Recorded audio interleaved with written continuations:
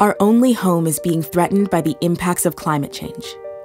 Decisions we make today affect our lives and those of generations to come. That's why Google Earth Engine has evolved to face these challenges.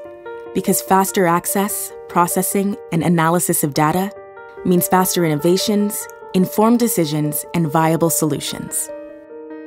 Google Earth Engine, made to make a difference.